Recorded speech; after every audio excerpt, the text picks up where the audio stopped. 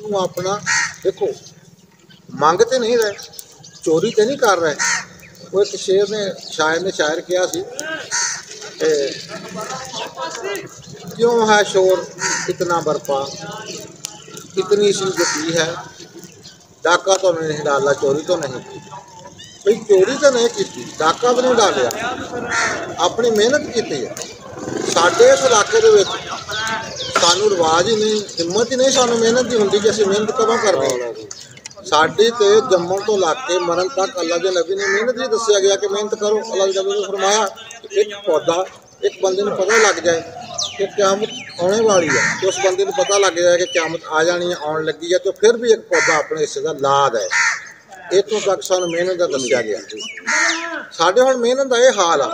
ਸਾਡਾ ਇੱਕ ਬੰਦਾ ਮਲੇਸ਼ੀਆ ਗਿਆ, ਤੇ ਉਹ ਨਾ ਜਿਸ ਬੰਦੇ ਕੋ ਗਿਆ, ਉਹ ਬੰਦਾ ਦੋ ਕਿੱਲੇ ਦਾ ਮਾਲਕ ਸੀ। ਉਹ ਦੋ ਖੇਤ ਦਾ ਮਾਲਕ ਸੀ ਤੇ ਜਿਹੜਾ ਬੰਦਾ ਗਿਆ, ਉਹ 12 ਕਿੱਲਿਆਂ ਦਾ ਮਾਲਕ ਸੀ। ਉਹਨੇ ਉਹਨੂੰ ਪੁੱਛਿਆ ਵੀ, ਯਾਰ, ਤੇਰੀ ਪਾਕਿਸਤਾਨ ਜ਼ਮੀਨ ਕਿੰਨੀ ਉਹਨੇ ਕਿਹਾ, ਜੀ 12 ਕਿੱਲੇ। ਉਹਨੇ ਕਿਹਾ ਲਾਣਾ ਤੇ ਤੇਰੇ ਤੇ। ਤੂੰ ਮੇਰੇ ਕੋਲ ਦੋ ਕਿੱਲਿਆਂ ਵਾਲੇ ਕੋ ਆ ਕੇ ਨੌਕਰ ਰਿਹਾ ਆ ਤੇ ਫਿਰ ਇੰਨੇ ਪੈਸੇ ਲਾ ਕੇ ਵੀ ਆਇਆ। ਅੱਲਾ ਦੇ ਬੰਦਿਆ ਤੂੰ ਆਪਣੇ ਮੁਲਕ ਦੀ ਮਿਹਨਤ ਕਰ। ਇੱਥੇ ਜੋ ਮੈਂ ਲਸਣ ਬੀਜਦਾ। ਤੇ ਤੂੰ ਵੀ ਲਸਣ ਬੀਜ ਜਾ ਕੇ। ਤੂੰ ਦੇਖ ਤੇ ਰਿਹਾ ਮੈਂ ਕਿੰਜ ਬੀਜਦਾ? ਕਿ ਪਾਕਿਸਤਾਨ ਦੇ ਲੋਕਾਂ ਨੂੰ ਪਤਾ ਨਹੀਂ ਸੀ ਲਸਣ ਕਿੰਜ ਬੀਜੀਦਾ ਹੈ। ਉਹ ਬੰਦਾ ਵਾਪਸ ਆਇਆ। ਫੈਸਲਾਬਾਦ ਦਾ ਬੰਦਾ ਸੀ। ਉਹਨੇ ਲਸਣ ਬੀਜਣਾ ਸ਼ੁਰੂ ਕੀਤਾ ਅੱਲਾ ਪਾਕ ਨੇ ਬਰਕਤ ਪਾਈ। ਰੋਜ਼ੀ ਤੇ ਅੱਲਾ ਪਾਕ ਨੇ ਦੇਣੀ ਹੈ ਅਸੀਂ ਮਿਹਨਤ ਕਰਦੇ ਹਾਂ ਕੁਰਸੀ ਦੀ ਖਾਤਰ ਜਾਂ ਸਿਰਫ ਪੈਸੇ ਕਮਾਉਣ ਦੀ ਖਾਤਰ। ਅਸੀਂ ਜ਼ਰੇ ਮੁਬਾਦਲਾ ਕਮਾਉਣ ਦੀ ਖਾਤਰ ਤਾਂ ਕਰਦੇ ਨਹੀਂ। ਇਸ ਤਰ੍ਹਾਂ ਕਿ ਸਾਡੇ ਬੰਦੇ ਬਾਹਰ ਜਾਂਦੇ ਸੀ। ਹਾਲਾਂਕਿ ਹਕੂਮਤ ਦੀ ਪਾਲਿਸੀ ਇਹੀ ਸੀ ਕਿ ਜਿਹੜਾ ਬੰਦਾ ਬਾਹਰ ਜਾਵੇ, ਉਹ ਬੰਦਾ ਆ ਕੇ ਕੋਈ ਛੋਟੀ ਸੰਤ ਲਾਵੇ, ਤਾਂ ਕਿ ਉਹਦੇ ਜਿਹੜੇ ਆਂਢੀ ਗੁਆਂਢੀ ਆ ਉਹ ਵੀ ਥੋੜਾ ਜਿਹਾ ਕੰਮ ਕਰਨ ਲੱਗਦਾ ਤੇ ਅਸੀਂ ਕੀ ਕੀਤਾ? ਅਸੀਂ ਆਣ ਕੇ ਉੱਥੋਂ ਜਦੋਂ ਆਏ ਕੋਈ ਸੱਤ ਸੂਟ ਸੱਸ ਦੇ ਸੱਤ ਸੂਟ ਸਹੁਰੇ ਦੇ ਸੱਤ ਬੀਵੀ ਦੇ ਇੱਕ ਬਰੀਫ ਕੇਸ ਤੇ ਇੱਕ ਨਾਲ ਜਨਾਬ ਕੰਮ ਉਹਦਾ ਅਹ, ਆਪਣਾ ਵੀਸੀਆਰ ਬਣਾਉਣਾ ਸ਼ੁਰੂ ਹੁੰਦਾ। ਇੱਕ ਵੀਸੀਆਰ ਲੈ ਕੇ ਆ ਜਾਣਾ ਤੇ ਕਹਿਣਾ ਲਓ ਜੀ ਮੁੰਡਾ ਬਾਹਰੋਂ ਆ ਗਿਆ। ਉਹ ਆਉਂਦਿਆਂ ਨੂੰ ਜਿਹੜੇ ਉਹਦੇ ਘਰ ਦੇ ਹੁੰਦੇ ਸੀ ਉਹਨਾਂ ਨੇ ਪੈਸੇ ਵਿਲੇ ਲਾਏ ਹੁੰਦੇ ਸੀ। ਉਹਨਾਂ ਨੇ ਫੜ ਤੜ ਕੇ ਉਹਦਾ ਵਿਆਹ ਕਰਨਾ ਤੇ ਕਹਿਣਾ ਹੁਣ ਪੁੱਤ ਤੂੰ ਫਿਰ ਬਾਹਰ ਹੀ ਚੱਲ ਜਾ ਤੇਰੇ ਵਾਲੀ ਜਿਹੜੀ ਇਹ ਇੱਥੇ ਜੋਗੀ ਹੈ। ਤੇ ਦੇਖਣਾ ਤੇ ਇਹ ਪੈਣਾ ਕਿ ਅਸੀਂ ਬਾਹਰ ਵੀ ਜਾਈਏ ਤੇ ਮਿਹਨਤ ਕਰੀਏ। ਤੇ ਅਸੀਂ ਬਾਹਰੋਂ ਆਣ ਕੇ ਯਾਦ ਫਿਰ ਲੋਕਾਂ ਦੇ ਪਰਚੇ ਕਰਾਉਣੇ ਸ਼ੁਰੂ ਕਰਤੇ। ਆਂਢੀ ਗੁਆਂਢੀ ਨੇ ਕਿ ਸਾਡਾ ਮੁੰਡਾ ਬਾਹਰ ਗਿਆ ਤੇ ਪੈਸੇ ਬੜੇ ਬਾਹਰੋਂ ਆਉਂਦੇ। ਹਾਲਾਂਕਿ ਇਹ ਕਿਹਾ ਗਿਆ ਕਿ ਦੇਖੋ, ਹਮਸਾਏ ਦੇ ਤੇ ਹਕੂਕ ਹੀ ਬੜੇ। ਉਹ ਸਿਆਣੇ ਕਹਿੰਦੇ ਆ ਵੀ ਜਦੋਂ ਅੱਛਾ ਹਮਸਾਇਆ ਹੋਵੇ, ਉਹਦੇ ਨਾਲ ਤੇ ਮੌਜ ਹੀ ਕੋਈ ਨਹੀਂ। ਅੱਛਾ ਰਿਸ਼ਤੇਦਾਰ, ਅੱਛਾ ਹਮਸਾਇਆ, ਅੱਛਾ ਦੋਸਤ, ਕਿਸਮਤ ਨਾਲ ਮਿਲਦਾ। ਲਾਹੌਰ ਦੀ ਇੱਕ ਬੜੀ ਮਿਸਾਲ ਮਸ਼ਹੂਰ ਆ। ਅਸੀਂ ਛੋਟੇ ਛੋਟੇ ਹੁੰਦੇ ਸੀ।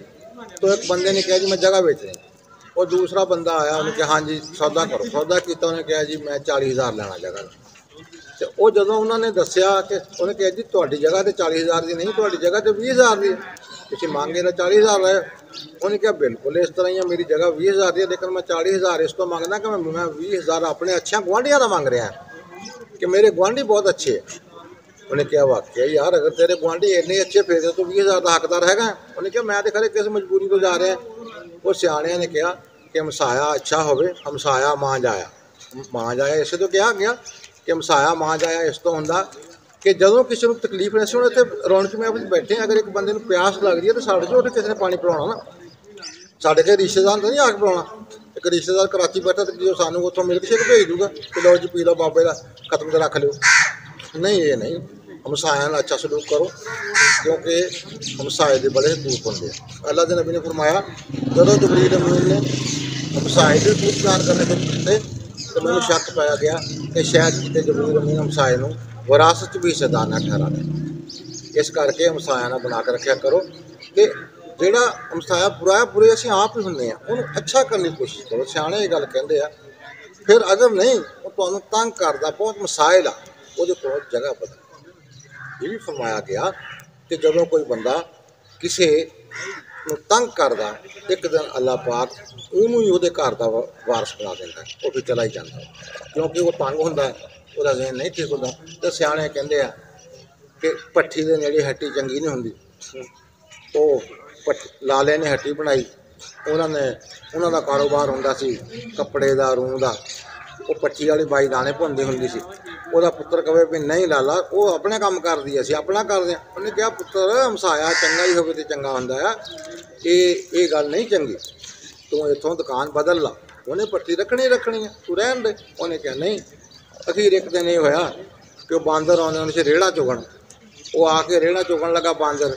ਉਹ ਪੱਟੀ ਵਾਲੀ ਮਾਈ ਨੇ ਉਹਦੇ ਕੁੱਦਣ ਮਾਰਿਆ। ਉਹਨੂੰ ਅੱਗ ਲੱਗ ਗਈ। ਉਹ ਭੱਜ ਕੇ ਦੁਕਾਨ 'ਚ ਵੜ ਗਿਆ ਦੁਕਾਨ ਸੜ ਗਈ। ਉਹ ਮੁੰਡਾ ਬੈਠਾ ਰੋਵੇ, ਤੇ ਲਓ ਜੀ, ਆਹ ਕਿਹੜੀ ਹੋਈ ਹੈ ਉਹਨੇ ਕਿਹਾ, ਪੁੱਤਰ, ਮੈਂ ਤੈਨੂੰ ਪਹਿਲਾਂ ਹੀ ਕਿਹਾ ਸੀ ਵੀ ਹੱਟੀ ਦੇ ਨੇੜੇ ਪੱਠੀ ਪੱਠੀ ਦੇ ਨੇੜੇ ਹੱਟੀ ਚੰਗੀ ਨਹੀਂ ਹੁੰਦੀ। ਇਸ ਕਰਕੇ ਹਮਸਾਇਆ ਹੀ ਬਦਲ ਲੈਣਾ ਬਿਹਤਰ ਸੀ। ਤੇ ਦੇਖੋ, ਅੱਜ ਕੱਲ੍ਹ ਇਲੈਕਸ਼ਨ ਦਾ ਦੌਰ ਹੈ ਤੇ ਅੱਲਾ ਦੇ ਬੰਦਿਓ, ਇੱਕ ਦੂਸਰੇ ਨਾਲ ਇਸ ਤਰ੍ਹਾਂ ਪਿਆਰ ਨਾਲ ਰਹੋ, ਵੋਟ ਜਿਹਨੂੰ ਦੇਣਾ ਦਿਓ, ਆਪਣੀ ਮਰਜ਼ੀ ਦੇ ਕੈਂਡੀਡੇਟ ਨੂੰ ਦਿਓ। ਲੇਕਿਨ ਇੱਕ ਦੂਸਰੇ ਨਾਲ ਨਾ ਵਿਗਾੜੋ। ਉਹ ਹੀ ਤੁਹਾਡਾ ਹਮਸਾਇਆ ਫਿਰ ਵੀ ਤੁਹਾਡੇ ਕੰਮ ਆਉਣਾ। ਪਹਿਲੇ ਵੀ ਤੁਹਾਡੇ ਕੰਮ ਆਉਣਾ, ਕੰਮ ਨਾ ਵੀ ਹੋਵੇ, ਤੁਹਾਡਾ ਹਮਸਾਇਆ ਤੇ ਹੈ। ਤੁਹਾਡੇ ਉਹਦੇ ਬੱਚੇ, ਤੁਹਾਡੇ ਇਕੱਠਿਆਂ ਖੇਡਣ ਆ ਉਹ ਇੱਥੇ ਖਾਰਿਆਂ ਵਾਲੇ ਸਾਡੇ ਇੱਕ ਦਫਾ ਲੜਾਈ ਹੋਈ 8-9 ਬੰਦੇ ਕਤਲ ਹੋ ਗਏ, ਉਹ ਕੁਝ ਮਰ ਗਏ, ਕੋਈ ਜੇਲ੍ਹ ਚਲ ਗਏ। ਉਹ ਬੀਬੀਆਂ ਦੇ ਬੱਚੇ ਉੱਥੇ ਮੁੜ ਕੇ ਇਕੱਠੇ ਰਹਿੰਦੇ। ਉਹ ਹੀ ਨਹੀਂ ਰਹੇ ਜਿਹੜੇ ਮਰਨ ਵਾਲੇ ਸੀ, ਬਰਦਾਸ਼ਤ ਪੈਦਾ ਕਰਨੀ ਚਾਹੀਦੀ ਇਹ ਬਰਦਾਸ਼ਤ ਬਹੁਤ ਹੀ ਜ਼ਰੂਰੀ ਹੈ। ਫਿਰ ਸਾਡੇ ਮਿਹਨਤ ਦੀ ਗੱਲ ਹੋ ਰਹੀ ਸੀ ਕਿ ਅਸੀਂ ਮਿਹਨਤ ਨਹੀਂ ਕਰਦੇ। ਕਿ ਮਿਹਨਤ ਦੇਖੋ ਜੀ, ਸਾਡੇ ਇੱਥੇ ਜਿਹੜਾ ਬੰਦਾ ਜ਼ਿਆਦਾ ਪੜ੍ਹਦਾ, ਉਹ ਤਾਂ ਬਿਲਕੁਲ ਨਹੀਂ ਕਰਦਾ। ਜਿਹੜਾ ਥੋੜਾ ਪੜ੍ਹਦਾ, ਮੈਟ੍ਰਿਕ ਪਾਸ ਕਰਨ ਤੋਂ ਬਾਅਦ ਵੀ ਉਹ ਕਹਿੰਦਾ ਰਹਿ ਨਹੀਂ ਦਿਓ। ਮੈਂ ਮਿਹਨਤ ਕੀ ਕਰਨੀ ਹੈ, ਮੈਂ ਤਾਂ ਪੜ੍ਹ ਗਿਆ। ਉਹ ਦੇਖੋ ਜੀ, ਚੀਜ਼ ਇਹ ਆ ਕਿ ਮਿਹਨਤ ਕਰਨੀ ਚਾਹੀਦੀ ਹੈ। ਸਾਡੇ ਹੁਣ ਜੈਨਾਬਾਦ ਉੱਥੇ ਮੁਲਕ ਦੇਖੋ, ਜਿਹੜੇ ਡਾਕਟਰ ਇੰਜੀਨੀਅਰ ਅੱਛੇ ਲੋਕ ਬਣ ਬਣਦੇ ਨਾਲ ਮਿਹਨਤ ਕਰੋ ਦੱਸਦੇ ਛੋਟਿਆਂ ਨੂੰ ਕਿ ਇਸ ਤਰ੍ਹਾਂ ਕੰਮ ਕਰੋ। ਤੁਹਾਨੂੰ ਸਾਰਿਆਂ ਨੂੰ ਪਤਾ ਹੈ ਕਿ ਅਮਰੀਕਾ ਦੇ ਵਿੱਚ ਜ਼ਰਾਫੇ ਦੇ ਦਿਲ ਦਾ ਆਪਰੇਸ਼ਨ ਹੁੰਦਾ ਸੀ। ਉੱਥੇ ਜਿਹੜਾ ਇੱਕ ਨੈਬ ਕਾਸਰ ਸੀ, ਉਹਨੂੰ ਇੱਕ ਦਿਨ ਡਿਸਪੈਂਸਰ ਨਹੀਂ ਸੀ ਡਾਕਟਰ ਨੇ ਕਿਹਾ ਕਿ ਮੇਰੇ ਨਾਲ ਕਰਾ। ਤੇ ਚਲੋ ਮੈਨੂੰ ਇੱਕ ਔਜ਼ਾਰ ਫੜਾਈ। ਦੇ ਇੱਕ ਦਿਨ ਇਹ ਹੋਇਆ, ਉਹ ਉਹਨੇ ਜੈਸੇ ਉਹ ਦਿਲ ਖੋਲ ਲਿਆ ਤੇ ਉਹ ਦਿਲ ਬੰਦ ਕਰਨ ਲੱਗਾ ਤੇ ਉਹਨੂੰ ਪਤਾ ਨਾ ਲੱਗੇ ਡਾਕਟਰ ਨੂੰ। ਤੇ ਉਹਨੇ ਉਹਨੂੰ ਇਸ਼ਾਰਾ ਕੀਤਾ ਕਿ ਹੁਣ ਕੀ ਸੋਚਦਾ ਹੈ ਤੇ ਉਹਨੇ ਕਿਹਾ ਵੀ ਇਹ ਚੱਲ ਨਹੀਂ ਰਿਹਾ ਹੁਣ। ਉਹਨੇ ਕਿਹਾ ਨਾਲ ਫੜ ਕੇ ਨਾਲ ਲਾ ਦੇ ਉਹ ਲਾਈ ਦੀ ਚੱਲ ਬਣ ਯਾਰ ਯੂ ਆਰ ਵੈਰੀ ਇੰਟੈਲੀਜੈਂਟ ਤੂੰ ਤਾਂ ਬੜਾ ਇੰਟੈਲੀਜੈਂਟ ਆ ਤੇ ਤੂੰ ਮੇਰੇ ਨਾਲ ਹੀ ਕੰਮ ਕਰਿਆ। ਉਹਨੇ ਆਪਣੇ ਨਾਲ ਰੱਖ ਲਿਆ। ਉਸ ਯੂਨੀਵਰਸਿਟੀ ਨੇ ਉਹਦੀ ਕਦਰ ਕੀਤੀ। ਉਹਨੂੰ ਪੀ ਐਚ ਡੀ ਦੀ ਡਿਗਰੀ ਦਿੱਤੀ ਸੀ। ਅੱਲਾਹ ਪਾਕ ਨੇ ਉਹਦੇ ਹੱਥ 'ਚ ਸੂਚਨਾ ਬਹੁਤ ਪਿਆਰੀ ਰੱਖੀ ਸੀ। ਉਹ ਫਿਰ ਉੱਥੇ ਦੇ ਡਾਕਟਰਾਂ ਨੂੰ ਸੂਚਨਾ ਕਰਕੇ ਦੱਸਦਾ। ਸੀ ਉਹਨਾਂ ਦੀ ਸੂਚਨਾ ਬੜੀ ਕਾਮਯਾਬ ਹੋਈ, ਲੇਕਿਨ ਅੱਲਾ ਉਹਨਾਂ ਨੂੰ, ਅੱਲਾ ਪਾਕ ਨੇ ਹਿੰਮਤ ਦਿੱਤੀ, ਉਹਨਾਂ ਨੇ ਕੰਮ ਕੀਤਾ। ਕੰਮ ਕਰਨਾ ਸਿੱਖੋ। ਸਾਡੇ ਇੱਥੇ ਬਾਹਰੋਂ ਮੁੰਡੇ ਪੜ੍ਹ ਕੇ ਆ ਕੇ, ਦੇਖੋ, ਅਸੀਂ ਤੇ ਸਾਡੇ ਨਾਲ ਜੋ ਹਿਸਾਬ ਹੋਈ, ਉਹ ਪੰਜਾਬੀ ਦਾ ਮਿਸਰਾ ਘਰ ਦੇ ਕੱਟੂ ਚੱਲਣੇ ਖਾਦੇ, ਬਾਹਰ ਡੁੱਡਾ ਬੈਦ ਸਦਾਵੇ। ਕੋਈ ਜਦੋਂ ਘਰ ਦੇ ਕੱਟੂ ਜਿਹੜੇ, ਉਹ ਤੇ ਖਾਰਸ਼ ਨਹੀਂ ਖਾ ਲੈ ਤੇ ਬਾਹਰ ਜਾ ਕੇ ਡਾਕਟਰ ਪੀ ਐਚ ਡੀ ਕਰਕੇ ਜਾਂ ਐਮ ਐਸ ਸੀ ਕਰਕੇ ਕੀ ਕਰੂਗਾ ਜਦੋਂ ਉਹਨੇ ਆਪਣੇ ਆਪਣਿਆਂ ਦਾ ਇਲਾਜ ਨਹੀਂ ਕੀਤਾ? ਤੇ ਆਪਣੇ ਦਾ ਇਲਾਜ ਤੇ ਕਰਨਾ ਚਾਹੀਦਾ ਨਾ। ਇਹ ਆਪਣੇ ਕੰਮ ਆਉਣੇ ਆ। ਆਪਣੇ ਬਹੁਤ ਅੱਛੇ ਆ, ਆਪਣੇ ਮੁਲਕ ਕੰਮ ਆਉਣਾ। ਦੇਖੋ, ਕਹਿੰਦੇ ਜੀ ਸੋਨੇ ਦੀ ਤਲਾਸ਼। ਅਸੀਂ ਕਹਿੰਦੇ ਆ ਕਿ ਸੋਨਾ ਤੇ ਸਾਡੇ ਕੋਲ ਹਮੇਸ਼ਾ ਹੀ ਹੁੰਦਾ। ਆ ਜਦੋਂ ਕਣਕ ਪੱਕਦੀ ਆ, ਉਹਦਾ ਰੰਗ ਵੇਖੋ ਨਾ ਕਦੀ ਗੌਰ ਨਾਲ। ਉਹ ਸਾਰਾ 골ਡਨ ਹੁੰਦਾ, ਸੋਨਾ ਹੀ ਹੁੰਦਾ। ਜਦੋਂ ਮੂੰਜੀ ਪੱਕਦੀ ਹੈ ਉਦੋਂ ਵੀ ਸੋਨਾ ਹੁੰਦਾ। ਹੈ। ਤੇ ਜਦੋਂ ਕਮਾਦ ਦਾ ਗੁੜ ਬਣ ਜਾਂਦਾ, ਸ਼ੱਕਰ ਬਣ ਜਾਂਦਾ, ਉਦੋਂ ਵੀ ਉਹ ਸੋਨਾ ਹੀ ਹੁੰਦਾ। ਹੈ। ਤੇ ਮੱਕੀ ਜਦੋਂ ਪੱਕਦੀ, ਉਦੋਂ ਵੀ ਉਹ ਸੋਨਾ ਹੀ ਹੁੰਦਾ। ਸਾਨੂੰ ਤੇ ਅੱਲਾਹ ਪਾਕ ਨੇ ਸਾਡੇ ਤੇ ਇੱਥੇ ਇੱਕ ਜਿੱਥੇ ਇੱਕ ਥਾਂ ਥਾਂ ਦੇ ਵਿੱਚੋਂ ਸੋਨਾ ਦੇ ਦਿੱਤਾ ਹੈ, ਤੇ ਅਸੀਂ ਹੋਰ ਕੀ ਲੈਣਾ? ਇਸ ਕਰਕੇ ਕੋਸ਼ਿਸ਼ ਕਰੋ ਕਿ ਆਪਣੀ ਹੀ ਮਿਹਨਤ ਕਰੋ। ਇਹ ਰੰਗ ਜਿਹੜਾ ਨਾ ਇਹ ਧਰਤੀ ਮੇਰਾ ਸੋਨਾ ਯਾਰੋ ਮੈਂ ਇਹਦਾ ਸੁਨਿਆਰਾ। ਇਹਨੂੰ ਸੋਨਾ ਅਸੀਂ ਹੀ ਬਣਾਉਣਾ ਹੈ। ਲੇਕਿਨ ਮਿਹਨਤ ਨਾਲ ਬਣੇਗਾ। ਅਸੀਂ ਸੋਨਾ ਕਿਸ ਤਰ੍ਹਾਂ ਬਣਾਇਆ? ਅਸੀਂ ਇਸ ਤਰ੍ਹਾਂ ਮੈਂ ਇਹਨੂੰ ਬਣਾਇਆ ਕਿ ਮਿਸਾਲ ਦੇ ਤੌਰ ਤੇ ਜਿਸ ਤਰ੍ਹਾਂ ਕਿ ਇਹ ਬੜਾ ਦੁੱਖ ਹੁੰਦਾ ਜਦੋਂ ਨਹਿਰਾਂ ਤੋਂ ਲੰਘਦੇ ਆ, ਜਿਹੜੇ ਭੂਤ ਬੰਗਲੇ ਆ, ਬਣੇ ਪਏ। ਕਦੀ ਇਹ ਬੰਗਲੇ ਬੜੇ ਬਿਹਤਰੀਨ ਸੀ।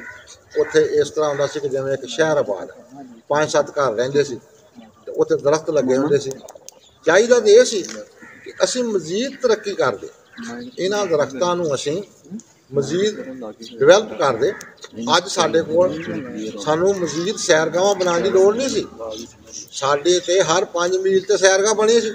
ਔਰ ਐਡੀ ਬਿਹਤਰੀਨ ਕਿ ਉੱਥੇ ਛਾਂ ਵੀ ਬਹੁਤ ਜ਼ਿਆਦਾ ਸੀ ਤੇ ਬਾਗ ਬੂਟੇ, ਫੁੱਲ ਬਹੁਤ ਸੋਹਣੇ ਲੱਗੇ ਸੀ।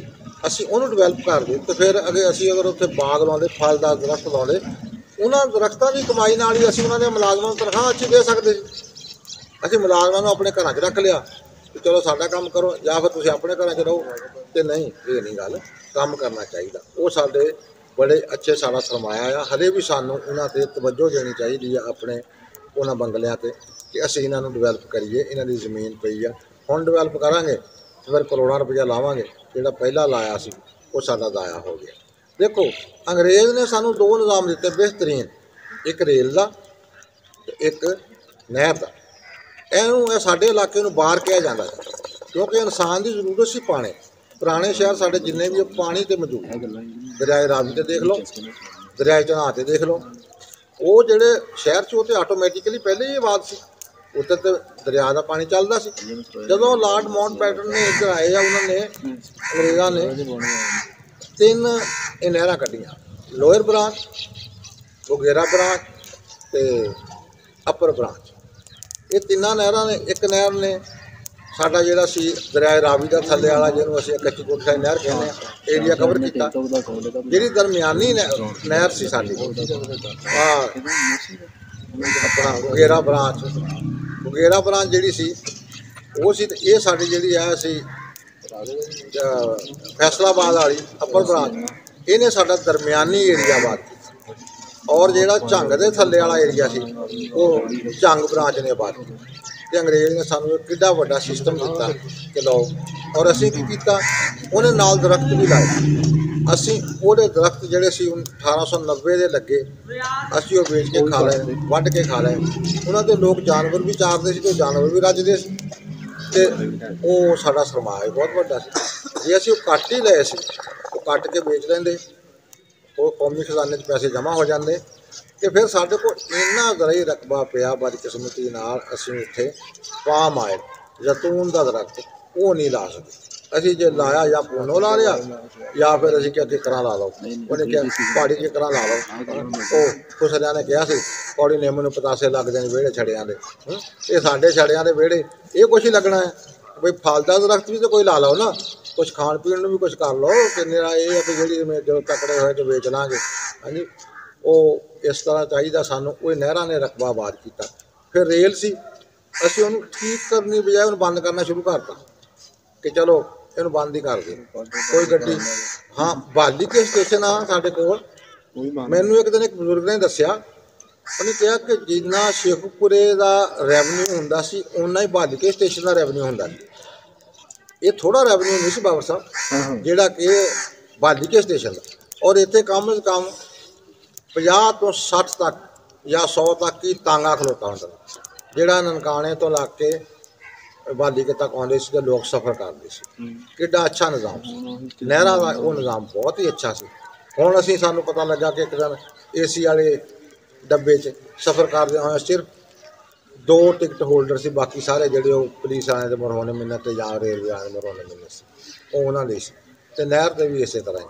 ਤੇ ਅੱਲਾ ਦੇ ਬੰਦਿਓ ਅਸੀਂ ਤੇ ਅਪੀਲ ਕਰਦੇ ਹਾਂ ਕਿ ਤੁਹਾਨੂੰ ਰਹਿਣ ਰਹਿਣ ਦੀ ਬੈਠਕ ਦੇ ਜ਼ਰੀਏ ਇਹਨਾਂ ਤੇ ਦਰਖਤ ਲਗਵਾਓ ਤੇ ਅੱਛੇ ਦਰਖਤ ਲਗਾਓ ਫਿਰ ਸਾਡੇ ਕੋਲ ਤਾਂ ਬਹੁਤ ਸਾਰੀ ਰਕਬਾ ਪਿਆ, ਟਿੱਬੇ ਪਏ ਜਿੱਥੇ ਗ੍ਰੈਤ ਵਾਲੇ ਉਹ ਚੀਜ਼ ਦੇਖਣ ਕਿ ਜਿੱਥੇ ਪਾਣੀ ਦੀ ਕੰਮ ਜ਼ਰੂਰਤ ਆ, ਉੱਥੇ ਜ਼ੈਤੂਨ ਲਾ ਲੈਣ ਇਹ ਚੀਜ਼ਾਂ ਸਾਨੂੰ ਦੱਸਣ ਦੀ ਜ਼ਰੂਰਤ ਨਹੀਂ। ਇਹ ਤਾਂ ਸਾਨੂੰ ਸਗੋਂ ਇਹਨਾਂ ਕੋਲ ਸਿੱਖਣ ਦੀ ਜ਼ਰੂਰਤ ਆ। ਇਹਨਾਂ ਨੇ ਕਿਹਾ ਜੀ ਨਿੰਬੂ ਲਾ ਲਓ। ਉਹ ਹੁਣ ਕਣਕ ਮੂੰਜੀ ਦਾ ਰੇਟ ਜ਼ਿਆਦਾ ਹੋ ਗਿਆ ਕੁਝ ਲੋਕੀ ਨਿੰਬੂ ਪੱਟਣ ਲੱਗ ਪਏ। ਤੇ ਜਦੋਂ ਇੱਕ ਦਰਖਤ ਲਾਇਆ ਜਾਂਦਾ ਮੁੜ ਕੇ ਦੂਸਰਾ ਪੱਟਣਾ ਸ਼ੁਰੂ ਕਰ ਦਿੰਦੇ ਆ। ਇਹ ਸਾਡੇ ਕੋਲ ਜਿਹੜਾ ਸਰਕਾਰੀ ਰਕਬਾ ਪਿਆ ਰੇਲਵੇ ਦੇ ਨਾਲ ਨਾਲ ਰਕਬਾ ਪਿਆ। ਅਸੀਂ ਉੱਥੇ ਦਰਖਤ ਲਾ ਦਈਏ ਨਹਿਰਾਂ ਦੇ ਨਾਲ ਦਰਖਤ ਲਾ ਦਈਏ। ਤੇ ਸਾਡਾ ਉਹ ਮੌਸਮੀ ਤਬਦੀਲੀ ਵੀ ਆਵੇ। ਹੁਣ ਅਸੀਂ ਕਹੀ ਜਾਂਦੇ ਆ ਜੀ ਇਦੋਂ ਸਮੋਗ ਸ਼ੁਰੂ ਹੋ ਗਈ ਆ ਧੁੰਦ ਸ਼ੁਰੂ ਹੋ ਗਈ ਆ। ਜਦੋਂ ਅਸੀਂ ਆਪਣੇ ਮੌਸਮ ਦੇ ਬਾਰੇ ਸੋਚਿਆ ਨਹੀਂ ਅਸੀਂ ਇਹ ਸੋਚਿਆ ਕਿ ਇੱਕ ਦੂਸਰੇ ਨੂੰ ਉਹ ਕਿਸ ਤਰ੍ਹਾਂ। ਨਹੀਂ। ਮਿਹਨਤ ਕਰੋ। ਮਿਹਨਤ ਨਹੀਂ ਅਜ਼ਮਤ ਹੈ। ਰਲ ਮਿਲ ਕੇ ਸਾਰੇ ਭਰਾ ਕੋਸ਼ਿਸ਼ ਕਰੋ